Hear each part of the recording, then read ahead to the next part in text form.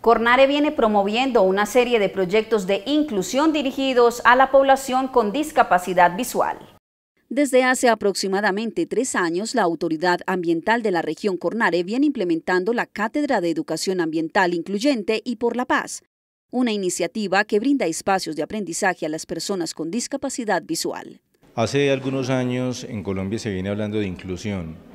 y es lo que hemos venido impulsando desde Cornare, acompañar a la población con discapacidad, a sus cuidadores, a los municipios desde las diferentes administraciones municipales, eh, lo que tiene que ver con la parte educativa, las escuelas, los colegios, las universidades, acompañar todos los procesos y acompañar a todas las personas que con discapacidad tienen esa fuerza y ese empuje y ese ímpetu de salir adelante, acompañar sus procesos educativos. Nosotros hemos construido la Cátedra de Educación para la Cultura Ambiental eh, incluyente. Estas cartillas que se eh, produjeron, 11, módulos por cada grado, desde, preescolar hasta grado 11, se construyeron también en braille y también se construyeron en medio eh, en audio. Esto para facilitar la inclusión de las personas con discapacidad visual y también las personas mayores. Esta cátedra de educación ambiental se ha convertido en una campaña social que demuestra que la discapacidad visual no puede ser limitante a la hora de querer proteger y conservar el medio ambiente. En el programa de discapacidad, eh,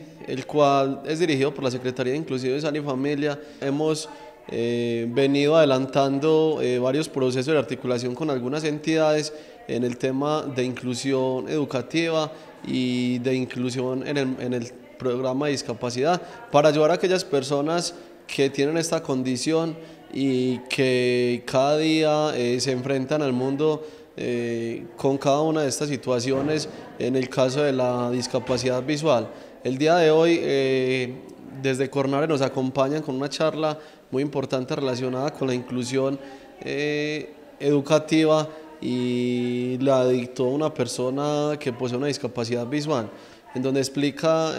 cada una de las falencias que se han presentado en el mundo eh, para estas personas, pero también las herramientas que le pueden ayudar a mejorar su calidad de vida. Ha sido una respuesta muy buena Sonsono y trajimos pues todo lo que tenía que ver con la discapacidad visual, todos los apoyos y ayudas que tienen las personas invidentes y la idea es que cada día sensibilicemos más a la gente para que estos espacios que tienen los niños en las instituciones educativas se le puedan brindar y apoyar y no excluirlos de todos los temas que hay, en, sobre todo en el tema que manejamos nosotros, que es el medio ambiente. En este momento le estamos dando cobertura a los 26 municipios que le competen a Cornare, que son los 23 del oriente antioqueño y tres que no son del oriente, pero que le damos cobertura por el tema de límites de cuenca hídrica, como son San Roque, Santo Domingo y Puerto Triunfo. En esos 26 municipios encontramos 1.045 centros educativos y llegamos a todos ellos con este mensaje de superación, de salir adelante, de que a la persona con discapacidad hay que darle oportunidades, también hay que exigirle en su tema académico. Y hemos querido acompañar todo ese contexto educativo para que todos en sus posibilidades encuentren un apoyo de nosotros como entidad corporativa.